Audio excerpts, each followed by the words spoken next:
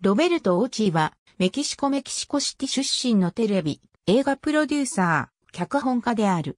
1973年7月20日、メキシコの首都メキシコシティで、メキシコ人を父に、キューバ人を母に生まれる。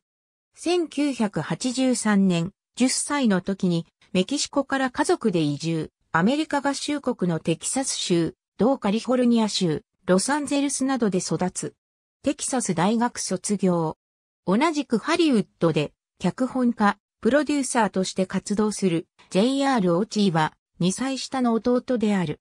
ハリウッドの映画界において1995年初めてテレビ映画の脚本でクレジットされる。